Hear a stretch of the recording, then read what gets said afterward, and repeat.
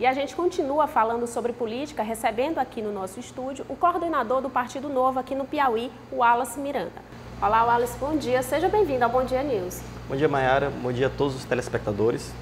Wallace, a gente vai receber aqui, né, é, nessa, amanhã e, e, na quinta, o João Amoedo, né, que foi candidato à presidência da República, ficou o quinto né, mais votado aí dos candidatos. Como é que vai ser essa agenda dele aqui no, no Estado? O que é que vocês estão preparando dessa, dessa agenda política dele aqui em Teresina?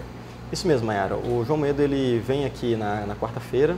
Nós temos uma, teremos uma palestra que será no auditório do Hotel Show. Vai ser uma palestra aberta ao público. E após teremos um coquetel. Um coquetel que será, será pago, é um coquetel já com arrecadação para o diretório e para a campanha do próximo ano. Uhum. O João Moedo, ele, ele fez uma campanha belíssima no, no ano passado, sem utilização de dinheiro público, nosso partido não uhum. utiliza nenhum recurso público, e teve uma votação bem expressiva, ficando em quinto lugar. Uhum. A gente acredita que quem conhece as ideias, os ideais do, do Partido Novo, os princípios e valores, acaba tendo uma, uma afeição maior, acaba acreditando no Brasil melhor. Nós estamos observando isso, nosso crescimento é um crescimento lento, mas é um crescimento bem palpável, bem sólido mesmo. E a gente acredita que cada vez mais, que a gente conseguir, se a gente conseguir divulgar essas ideias do, do partido, a gente vai conseguir mais filiados, a gente vai conseguir mudar o Brasil. Uhum. Até 2016 a gente não tinha nenhum mandatário. A partir de 2016 nós já, nós já tivemos, já temos mandatários. Temos vereadores, deputados estaduais, federais, distrital e governador. Então, aquilo que antes era uma teoria, agora já é prática. Inclusive, você já tem representatividade já no Congresso Nacional, então já, é, já também já, é, é já tem, tem direito à participação na, na, televisão, né? já tem tempo também de televisão de acordo com a, com a lei eleitoral, não é isso? Isso mesmo, nós temos oito deputados federais, então nós já ultrapassamos a cláusula de, de barreira, então vamos conseguir sim ter debate na, na TV e vamos ter um tempo maior na TV. Uhum. É, isso isso é, é, foi uma vitória que conseguimos no, no ano passado, e vamos conseguir ter uma, uma, uma participação maior, vamos conseguir ter uma, uma capilaridade maior com os nossos eleitores. Uhum. É, inclusive essa, a, a, o, o, Partido Novo, ele, quando ele teve uma, uma uma representatividade, um alcance maior nas eleições do ano passado, né, com essa candidatura é, majoritária a presidente da, da, da, República, mas foi um partido que trabalhou muito a questão das redes sociais, né, de divulgação via redes sociais, justamente por conta dessa dificuldade de se chegar, de, de, de um tempo, de um espaço de, de, televisão, por ser um partido novo, não apenas um nome. Né? Exatamente. Nosso partido não tinha ainda a representatividade no, no ano passado, então nosso tempo era limitado. Várias pessoas perguntaram por que o partido não fez uma coligação para ter um tempo maior de TV. Só que a gente acredita que para fazer uma coligação, o outro partido tem que, ser, tem que compartilhar dos nossos ideais, princípios e valores. Por isso que eu digo, é muito pouco provável que a gente vá fazer uma coligação majoritária nas eleições do próximo ano. É, provavelmente o partido em todo o Brasil, ele vai seguir sozinho nessa, nessa candidatura. Hoje o Novo não visualiza nenhum partido que tenha nenhuma ideia semelhante ao que o, o partido prega? Até agora não. O princípio fundamental, um dos princípios nossos, que é a não utilização de dinheiro público, que a gente acredita que o dinheiro público deve ser utilizado para áreas importantes como educação, saúde e segurança. Então a gente acredita que o partido não deve utilizar esse dinheiro do fundo partidário, do fundo eleitoral. Inclusive foi o nosso primeiro projeto de lei é, apresentado na Câmara, que não foi, que não conseguiu a votação expressiva, mas exatamente a gente pediu para que esse dinheiro pudesse ser retirado do fundo partidário ou do fundo eleitoral e passado para as áreas básicas, saúde, educação e segurança. Não tem nenhum outro partido que faça isso. Então, todos os partidos eles pensam simplesmente no poder pelo poder. Eles querem dar essa continuidade de poder, fazem o carreirismo político. Nosso partido é contra esse carreirismo político, então é, a reeleição é permitida apenas uma vez, seja para cargo executivo, seja para cargo no legislativo.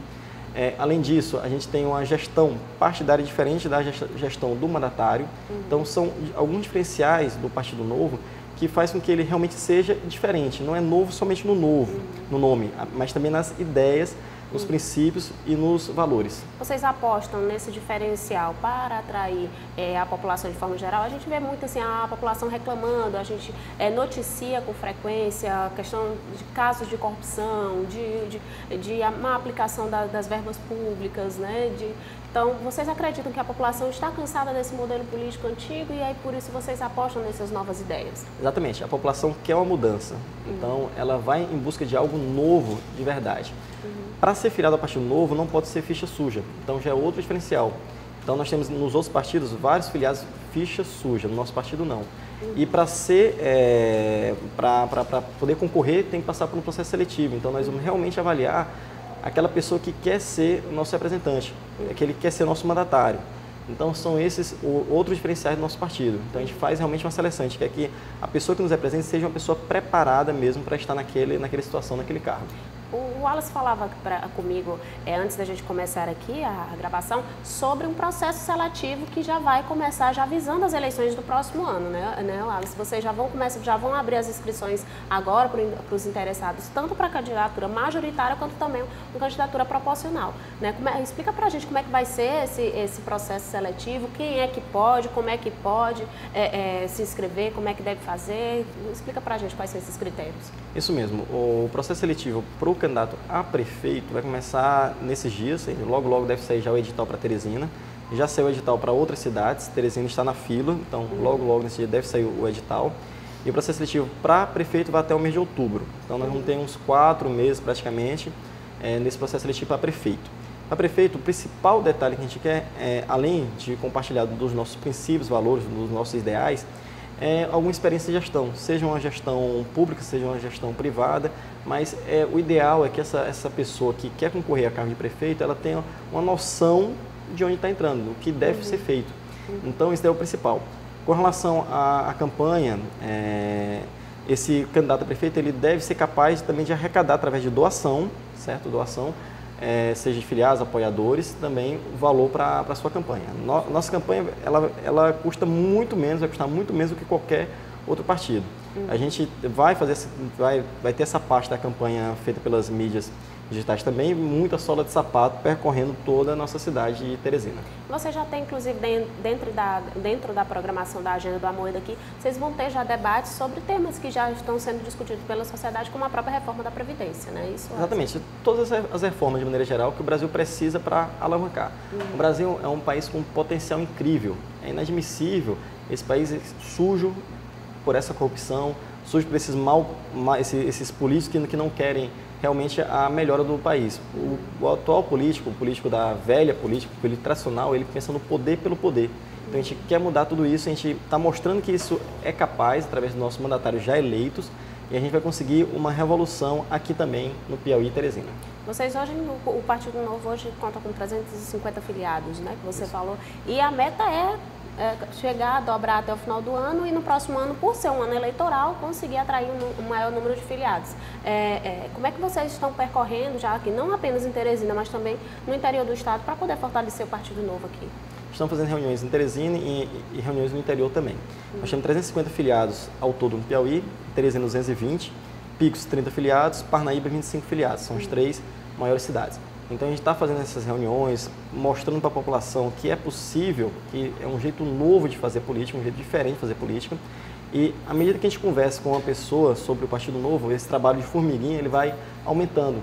As pessoas vão conhecendo mais e vão vendo que é um jeito diferente mesmo e acreditam. Então, o que a gente está observando nos filiados é exatamente essa, essa força, essa vontade de mudar a nossa realidade. Hum.